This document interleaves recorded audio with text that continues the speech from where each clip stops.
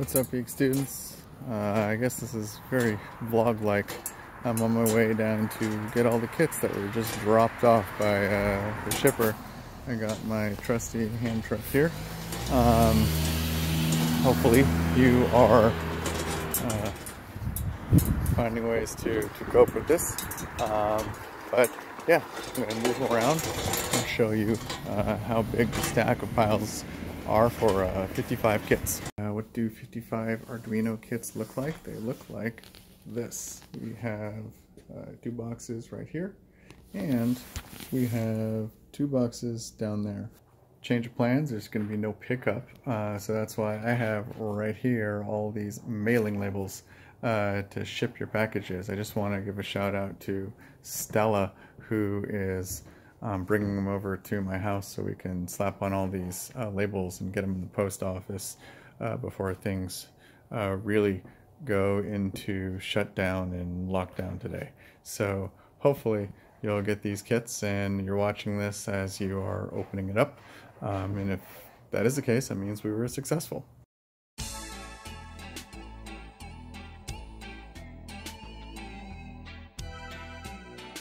Here we are. This is collectively uh, 52 or 54 and the 55th of all of the Arduino kits. Um, they all come with everything you need. We are going to unbox this one and show you what's in here.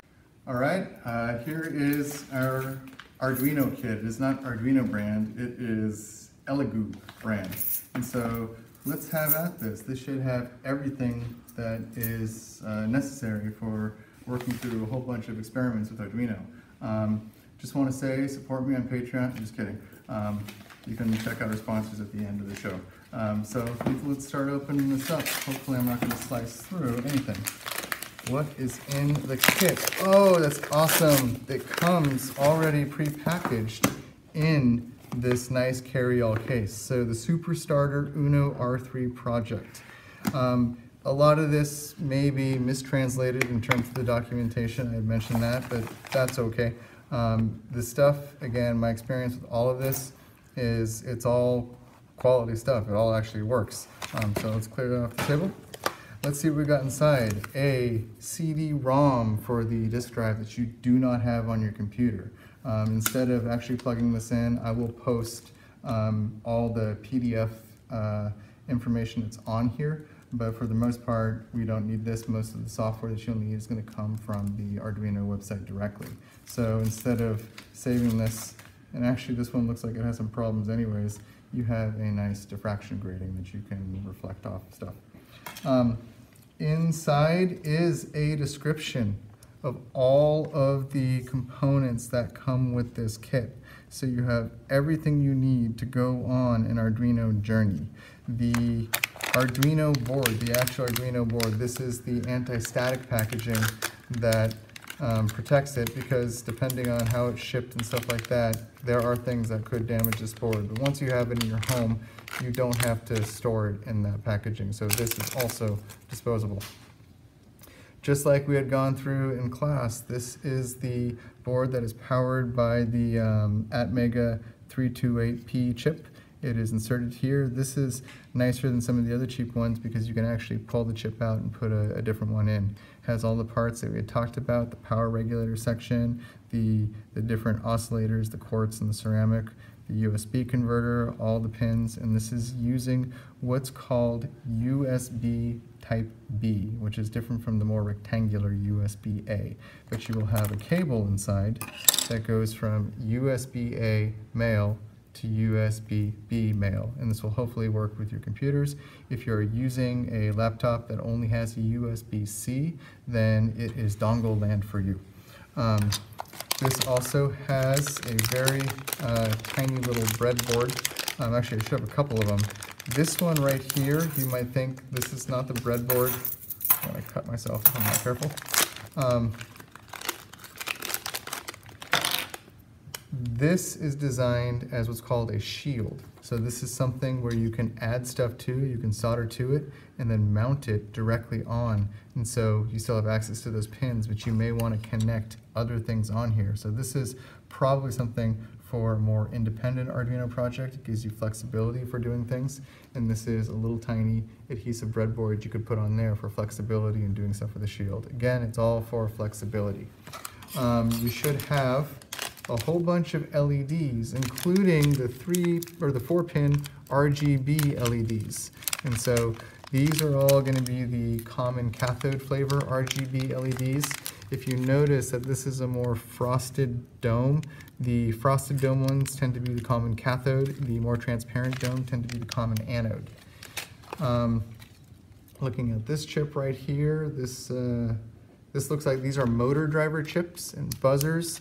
Um, you have buttons, diodes, photoresistors. Of course, you gotta have a nine volt battery. And then the convenient thing, so you don't have to worry about power supplies, is you have a nine volt battery with the DC barrel jack that can plug right into here.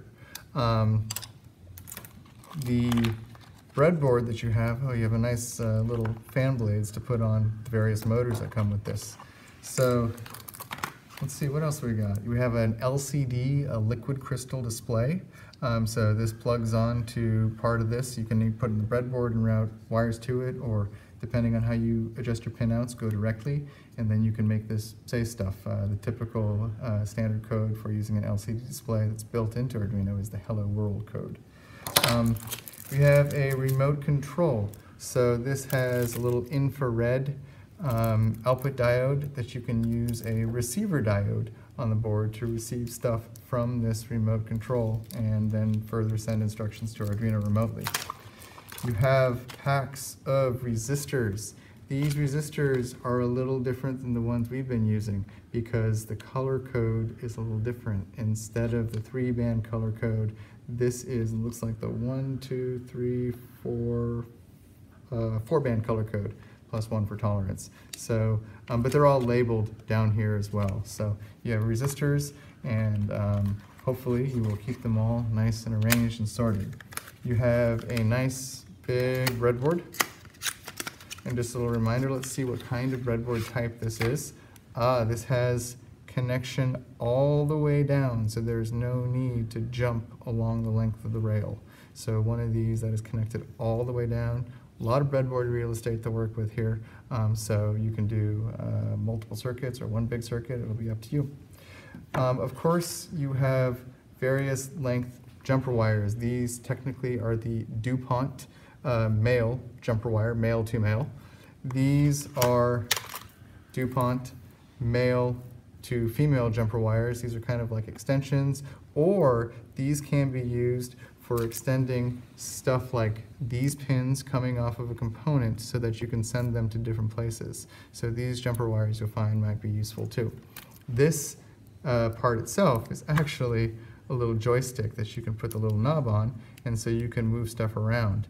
Um, basically send this into the board and then the board can control something else based on joystick motions. Let's see, what else do we got in this goodie box? Um, a standard DC motor, that's what this little fan blade is for. Um, this is a, let's see, LM324, what is this? Oh, I'm looking at the wrong side, duh. This is the ultrasonic sensor and receiver. So one of these, the T, is a transmitter. It sends out ultrasonic pulses, stuff you can't hear but your dog might. Um, and this is the receiver. It can receive ultrasonic pulses. So this can be used as a proximity detector. I've seen awesome robots made out of these that can sense where they are based on sending a pulse and receiving a pulse, kind of like how bats echolocate. Um, what else do we got? This looks like, this looks like a little logic unit. Um, ULN 2003. Ah, so this, um, got to remember and look up what the ULN 2003 uh, chip is. It's another standard chip that typically comes with Arduinos. It has this ABCD.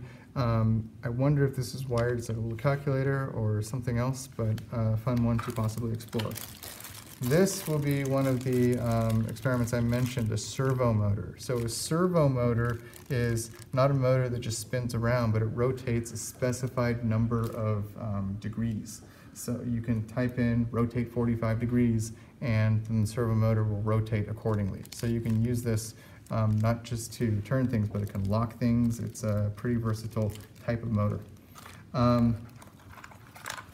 Let's see, we have another USB power board. So this is essentially a power distributor for USB stuff. I don't know what this button is. I'll have to look up what that what the purpose of this button is, if it's just a kill switch or if it's for something else. But we really just have a few, again, power regulators here uh, for distributing uh, power sources. Um, and again, this is that USB-A format, and you also have a barrel jack right here. Let's see, what do we have here? Oh, here is the infrared receiver. So this is a, um, a phototransistor of sorts. Um, and so this can receive various light pulses. Let's see further down, um, what do we got here? I don't know what this guy is, but I'm gonna have to look it up. Oh, cool, humidity and temperature sensor. So your Arduino can log uh, what the ambient humidity and temperature is. A lot of Arduinos become weather stations. So that's uh, how they can um, be used sort of as uh, cheap devices in places where you don't want to put up a whole computer.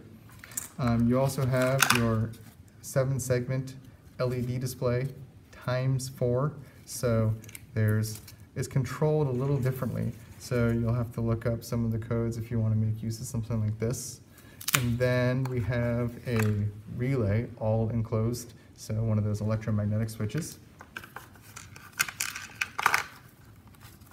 We have a single seven segment LED display. Um, you'll have to test if it's common cathode or common anode. And then, of course, a single 10K potentiometer with a little knob. Um, so you have your three pins for your potentiometer, and then you can use that as a control for um, varying resistances of parts of your circuit. So I think that covers pretty much everything that is contained in this kit. There's a lot of stuff you can do with this. Um, all of the activities that we're going to have you do are going to be possible using this kit. So we're going to design everything for the next few units for your independent project as based on, again, this kit. So thanks for watching. Um, until next time.